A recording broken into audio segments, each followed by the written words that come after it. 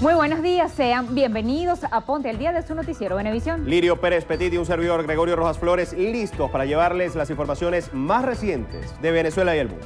Por más de ocho horas, choferes de más de 200 líneas de transporte de la Gran Caracas trancaron la avenida Francisco de Miranda frente al Ministerio de Transporte Terrestre. Esto para exigir al gobierno nacional que se cumpla lo acordado en las mesas de negociación sobre el aumento del pasaje a 60 bolívares. De no recibir respuesta, no descartan un paro nacional. El directorio del Consejo Nacional Electoral aprobó con el voto salvado del rector Luis Emilio Rondón que la recolección del 20% de manifestaciones de voluntades sea estadal y no nacional. La actividad se llevaría a cabo los días 26, 27 y 28 de octubre. Sosteniendo de que a mi juicio la Constitución es muy clara con la interpretación de la circunscripción nacional y lo que corresponde a la circunscripción del cargo, mm, no fue aplicada este 20% mm, por mm, entidad, por Estado, en el año 2004, por lo que mm, no entiendo las consideraciones jurídicas que fueron desarrolladas en el directorio. El vicepresidente de la República, Aristóbulo Isturiz, dijo que el transporte es un servicio público, aunque lo operen particulares, y las tarifas deben estar controladas por el Estado. Que opere el servicio educativo puede haber un particular que opera el transporte, pero eso tiene que estar regulado por el Estado. Se no puede cobrar lo que le dé la gana si no se discute. Y tiene que haber un comité de usuarios que los precise, que le haga seguimiento, que le haga control. Miguel Pizarro, presidente de la Comisión de Desarrollo Social del Parlamento, denunció que para el retorno a clases, cuatro de cada diez niños se ausentarán por falta de alimentación que debe proporcionar el gobierno nacional. El ministro de Alimentación, Rodolfo Marco Torres, anunció que la reciente adquisición de 130 mil toneladas de materia prima garantizará el abastecimiento de maíz amarillo, arroz y harina precocida al menos hasta febrero del próximo año. En Anzoátegui, la diputada Oneida Guaipe denunció que en lo que va de septiembre han fallecido más de 40 neonatos en el hospital Luis Racetti de Barcelona. A propósito de la Asamblea General de la ONU, la canciller Delcy Rodríguez sostuvo un encuentro con el secretario general del organismo Ban Ki-moon, a quien le agradeció el apoyo y buenos deseos hacia Venezuela por la presidencia del Movimiento de Países No Alineados. Nosotros nos sumamos a cualquier tipo de esfuerzo que promueva la solución pacífica, que promueva la solución política, pero principalmente respetando las instituciones de la República Árabe Siria y respetando también la soberanía y la integridad territorial de este hermano país. El diputado Tomás Guanipa visitó Valencia para dar a conocer el proyecto de reforma parcial de la Ley Orgánica de Telecomunicaciones. Elías Jagua, diputado a la Asamblea Nacional por el PSV, aseveró que el referendo revocatorio no ha sido tema de discusión en los encuentros con la oposición. Estados Unidos negó que haya violado el espacio aéreo venezolano durante la cumbre del movimiento de países no alineados celebrada en la isla de Margarita. A juicio de Ramón Lobo, diputado por el PSV, las acciones que ha emprendido Mercosur contra Venezuela son una excusa para desintegrar el bloque regional. La Comisión de Política Exterior de la Asamblea Nacional aprobó un acuerdo en respaldo a los países miembros del Mercosur que exigen al país ponerse a derecho con los protocolos de adhesión antes del primero de diciembre. La defensora pública general Susana Barreiros dijo que trabajan para combatir el retardo procesal y disminuir el hacinamiento en las instalaciones de policía. El presidente de la Asamblea Nacional, Henry Ramos Ayub, sentenció que la oposición no debe aceptar condiciones adversas para la recolección del 20% de voluntades para el referéndum revocatorio. Por ejemplo, que cada día solamente puede ir uno, tú no puedes aceptar esas condiciones. Si te dicen que no va a haber máquinas, tú no puedes aceptar esas condiciones. Si te dicen que no va a haber mesa, tú no puedes aceptar esas condiciones. Si te dicen que en la gran sabana te van a colocar 100 máquinas y en Petare no te van a colocar ninguna, tú no puedes aceptar eso. En Zulia, el alcalde del municipio de San Francisco, Omar Prieto, instó al diputado Ramos Ayub a no desconocer las instituciones del Estado. El Comité de Postulaciones Electorales de la Asamblea Nacional se instaló para iniciar el proceso de selección de los candidatos que sustituirán a dos rectoras del CNE. Eulogio del Pino, ministro de Petróleo, aseguró que el Estado honrará los compromisos de los tenedores de bonos que no acepten el canje ofertado. A juicio del presidente de Fede Cámaras, Francisco Martínez, el decreto de emergencia económica no ha logrado solventar la crisis económica. El mayor general Luis Gilberto Rodríguez Molina fue designado como presidente de la empresa del Estado Bolivariana de Aeropuertos. En Nueva Esparta, Conce Turismo registra una caída del 40% en ocupación hotelera para el periodo julio-agosto. El director general del SAIME, Juan Carlos Dugarte, encabezó la celebración del Día Internacional de la Paz en el Calvario, en Caracas. Según concejales de municipios fronterizos de Táchira, la suspensión del paso gradual de transporte de carga evidencia la improvisación y políticas cerradas que se han ejecutado en la zona limítrofe. En Táchira, empleados, obreros y maestros tomaron la alcaldía de San Cristóbal para exigir el pago de deudas contractuales. La Asociación de Profesores Universitarios denunció en la Comisión de Culto y Régimen Penitenciario la detención de más de 40 universitarios por razones políticas. En Nueva Esparta, familiares de los privados de libertad que fueron trasladados a otros internados judiciales protestaron para exigir que sean retornados a la isla de Margarita. Amigas y amigos, 7 y 37 minutos de la mañana, tiempo de hacer una nueva pausa. Al regreso, seguimos con más de Ponte al Día de su noticiero Venevisión.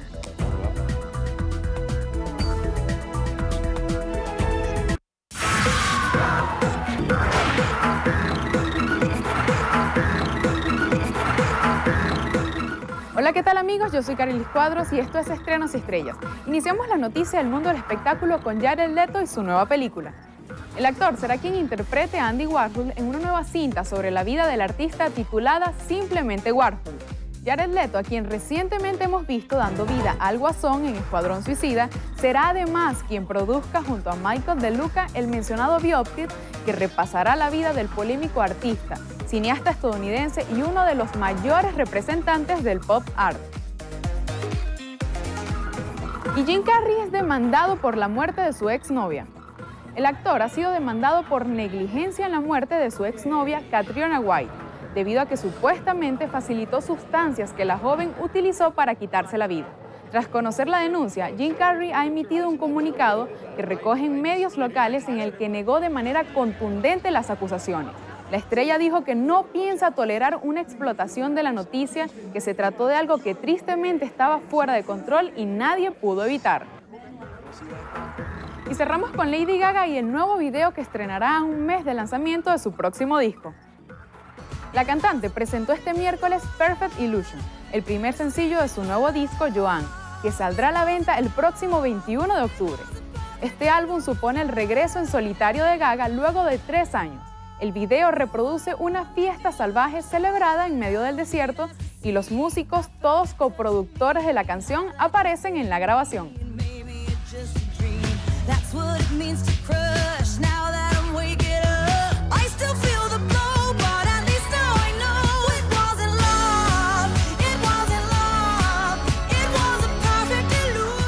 Así llegamos al final. Yo soy Carilis Cuadros y los espero en una próxima emisión de Estrenos y Estrellas por su noticiero Venevisión. Gracias, Carieli.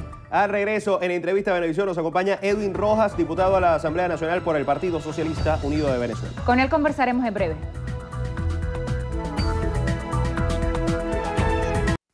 Entrevista Venevisión.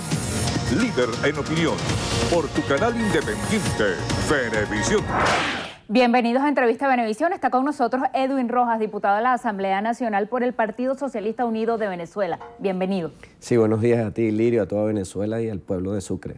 Diputado, necesariamente vamos a comenzar por su reacción ante ese anuncio que hizo no el directorio, sino el rector Luis Emilio Rondón sobre las condiciones para la recolección del 20% de manifestación de voluntades que activaría el referendo revocatorio. En definitiva, va a ser los días 26, 27 y 28 de octubre en un horario de 8 de la mañana a 12 del mediodía, de 1 a 4 de la tarde. Anoche mismo hubo una reacción de voceros de la Mesa de la Unidad Democrática criticando el hecho de que esa recolección vaya a ser Estado por Estado y no nacional, aunque el funcionario a revocar sería el presidente de la República, por circunscripción nacional, y también eh, se quejaban por las condiciones. Pedía la MUD 19.500 máquinas, fueron aprobadas 5.392.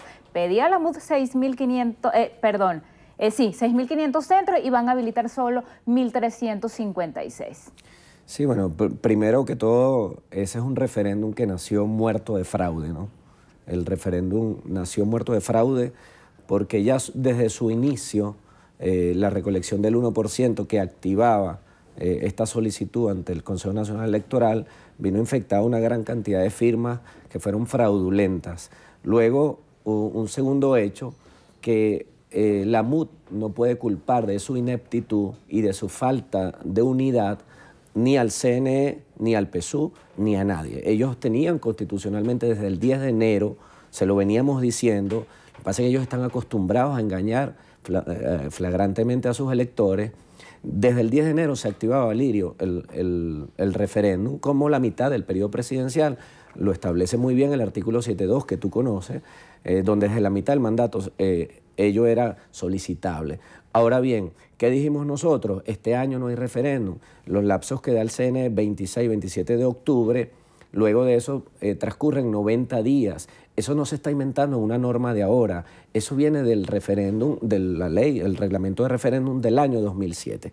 Ahí se establecen los lapsos, los periodos, y además de eso, importante destacar, la Constitución habla en el 7.2, no habla sino te habla y te dice que los electores inscritos en la, correspondiente circunscripción, el término nacional se lo están incorporando eh, los, eh, voceros de la MUD. Y en tercer lugar, eh, nosotros tenemos también una, una denuncia ante el Ministerio Público y ante el Poder Judicial y le pedimos al Poder Judicial que se eh, pronuncie sobre eh, el fondo del asunto. Nosotros hemos demandado la nulidad de esa solicitud de referéndum. La parte final del artículo 7.2 de esta Constitución Nacional establece, Lirio, el pueblo venezolano, que el, el, referéndum solo podrá ser solicitado una vez por mandato. De manera que si, que si el Tribunal Supremo, como debe pronunciarse, se pronuncia y declara la nulidad de este proceso por estar infectado de fraude constitucional, no habría, no solo este referéndum no se pudiera realizar, sino que además no pudiera realizarse ninguna otra solicitud en lo que queda de mandato del presidente Nicolás Maduro. Diputado, y también decían voceros de la MUD que por qué no se repite lo que ocurrió en el 2004, que también la, votación fue nacional, la recolección. Fíjate, Lirio, el referéndum del año 2004... Claro, el reglamento es de 2007. Eh, es, un es un reglamento, es lo que te quería decir, e informarle al pueblo, porque sabes que los dirigentes de la MUD son muy mentirosos en los argumentos que explayan. El referéndum del 2004 se hizo bajo normas reglamentarias de eh, un, reglamento del 2003 y el inicio de ese proceso refrendario fue en el 2003. Hubo un proceso de reparo de firmas en mayo del 2004 y posteriormente, el 15 de agosto del 2004, es cuando se efectuó el referéndum, que por cierto no fue revocatorio, fue ratificatorio porque el presidente Hugo Chávez lo ganó con más del 60% de los votos. De manera que no podemos mentirle al pueblo y acomodar las normas. Las normas jurídicas no son para acomodarlas a una circunstancia. La doctrina constitucional, incluso, fíjate que la muda es tan torpe que la MUD en la Asamblea Nacional, eh, la asamblea que, dirige torpemente Henry Ramos Alud, eh, sacó una ley de referéndum, Lirio, y, la Constitución Nacional dice que no se podrá modificar ninguna norma electoral, eh, por lo menos no se puede hacer ningún proceso electoral seis meses luego que se modifique una norma electoral. Ellos sacaron una ley de referéndum. Al aprobarla, por lo menos seis meses debían esperarse para un proceso electoral.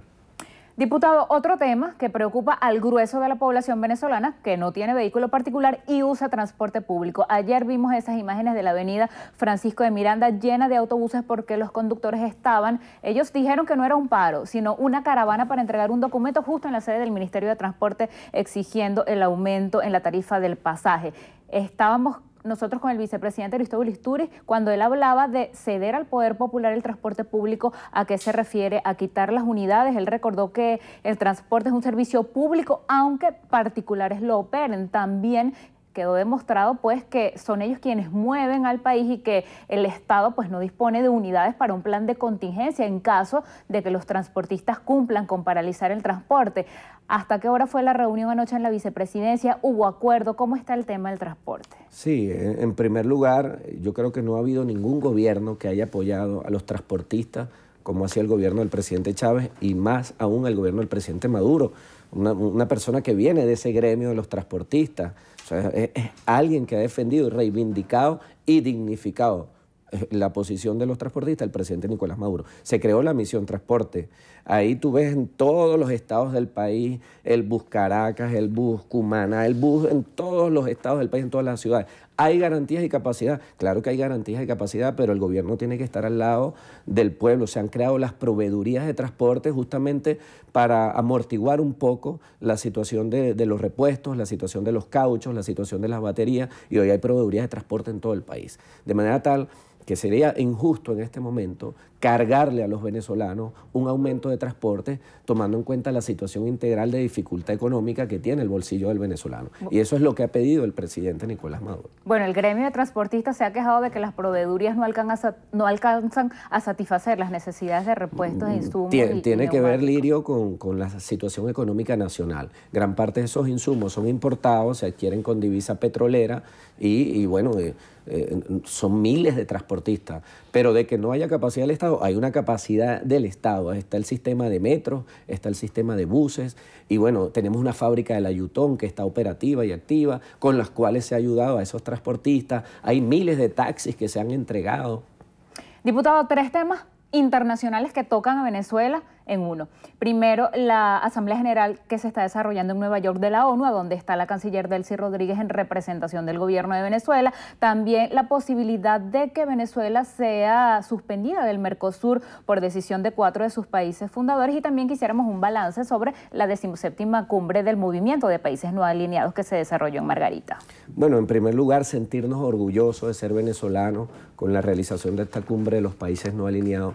Debemos ser orgullosos, más allá de la posición política que usted pueda tener, sentirse orgulloso de que Venezuela esté asumiendo la presidencia de una organización la más grande en el marco de las Naciones Unidas como es los no alineados, que una cumbre se haya eh, realizado en Venezuela con total éxito, sin ningún incidente de inseguridad, sin ningún problema social y que los presidentes, jefes de Estado, cancilleres, embajadores que estuvieron en Margarita se hayan ido con una visión de Venezuela real, no la visión que la mediática internacional quiso proyectar de un país en caos, de que nos estábamos matando, etc. Segundo lugar, Mercosur no pueden eh, los presidentes, además de ellos un presidente golpista, el de Brasil, no pueden modificar las normas y estatutos del Mercosur. Corresponde la rotación de las presidencias de Mercosur conforme al alfabeto. Venía la presidencia de Uruguay y posteriormente la de Venezuela. Entonces Venezuela asume la presidencia pro tempore ellos quieren acabar con Mercosur como una política eh, de ir contra la integración latinoamericana. Y ahora en las Naciones Unidas, bueno, el papel de Venezuela importante,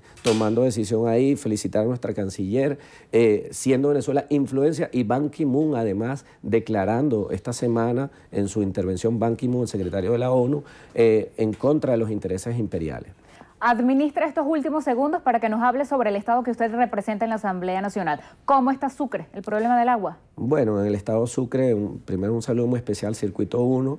Eh, el problema del agua, con el apoyo de PDVSA, el Ministerio de Agua y Ecosocialismo, hemos venido resolviendo los problemas puntualmente. El problema de Carúpano, el problema de Andrés Loy Blanco. Eh, en Cumaná no hay un problema de agua como tal, sino un problema que tiene que ver con las aguas servidas, que es otro asunto. Pero con el fortalecimiento de la construcción de pozos, la perforación de pozos que se ha hecho, se ha paliado un poco ello. De manera que el fenómeno del niño, que nos atacó mucho con la sequía durante estos últimos años, eh, hemos ido nosotros resolviendo un problema estructural que tiene algunas otras soluciones, pero hemos avanzado. Y bueno, mensaje final a todo nuestro pueblo, no solo el de Sucre, sino el de toda Venezuela. No hay referéndum, se lo dijimos, no hay referéndum en el 2016 y Tribunal Supremo de Justicia, si se pronuncia y dice y decide como debería decidir que fueron fraudulentas las firmas, no debería ni siquiera llegarse al proceso de recolección del 26 y 27 de octubre. Esa recolección debería suspenderse si vamos al fondo de la denuncia y la demanda que nosotros planteamos por inconstitucionalidad, por tener firmas fraudulentas y ello haría, conforme al artículo 7.2, que no se pueda presentar ningún tipo de solicitud de referéndum nuevamente contra el presidente Nicolás Maduro. Así que no se confíen, nosotros no estamos de acuerdo con tres días, Lirio, porque el presidente Nicolás Maduro fue electo en un día. Debió el CNE haber efectuado ese proceso de recolección en un solo día, tal cual el artículo 19, 20 y 21 habla de la igualdad de acceso a la justicia y de igualdad de acceso a la ley tan derecho tienen los opositores a solicitar un referéndum, como derechos tenemos los que elegimos a Nicolás Maduro presidente a que él cumpla su mandato en seis años. El equilibrio de la Constitución, disculpa que me haya alargado, pero es bueno que el pueblo lo sepa, que posiblemente ni siquiera debiera haber ese proceso del 26 y 27 por estar infectado en constitucionalidad. Hasta aquí nos trajo el tiempo. Gracias por esta conversación, diputado. Gracias a ti, Lirio. Despedimos entrevista de Venevisión con Edwin Rojas, diputado de la Asamblea Nacional por el Partido Socialista Unido de Venezuela. Gregorio. Así es, Lirio. Cerramos con esta importante información fuera de nuestras fronteras. En Estados Unidos, el gobernador de Carolina del Norte declaró estado de emergencia en la localidad de Charlotte tras la segunda jornada de protestas por la muerte de un afroamericano a manos de policiales. En el evento, una persona resultó gravemente herida de bala por un civil. Las autoridades emplearon gases lacrimógenos y pelotas de goma para dispersar a los manifestantes. El gobernador Pat McCrory informó que inició esfuerzos para el despliegue de la Guardia Nacional estadounidense en la zona. Amigas y amigos, hasta aquí la presente emisión de su noticiero Venevisión. Gracias por acompañarnos, que tengan todos un excelente día y recuerden, Noticiero Venevisión, Canal 4 Reporta, ustedes deciden. Un fuerte abrazo.